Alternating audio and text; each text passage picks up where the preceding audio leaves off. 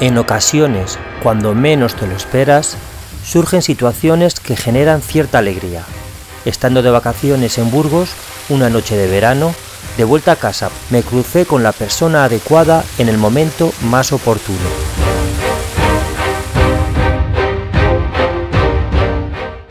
No me suelen llegar invitaciones que me faciliten la exhibición de mi trabajo, por eso que me invitara a participar en el espacio tangente en una exposición colectiva arriesgada y muy interesante me llenó de alegría y me supuso todo un reto.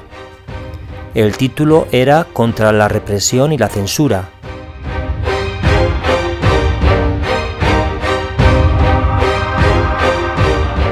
Mi cabeza comenzó a maquinar la obra a representar, ya que tenía claro que iba a realizar una pieza en exclusiva para esta muestra.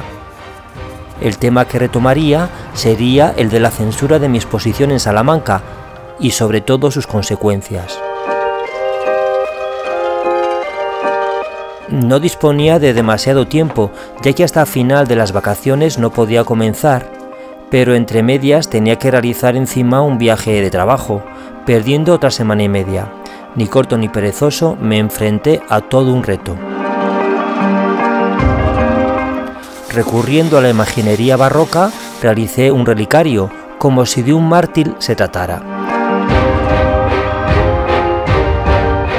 El elemento polémico de la censura que sufrí en Salamanca vuelve a ser el protagonista de esta pieza, la mierda.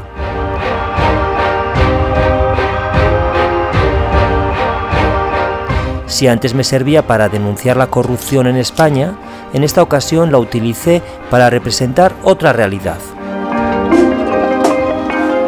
Pasados casi cinco años de la censura de mi exposición en la capital charra, ya podía afirmar que por suerte existe vida artística fuera de esta monumental ciudad. Muy satisfecho con el resultado obtenido, no puedo más que agradecerles al colectivo del Espacio Tangente esta gran oportunidad de poder mostrar mi trabajo junto a las obras de destacados artistas, como el colectivo Democracia, Eugenio Merino o Santiago Sierra.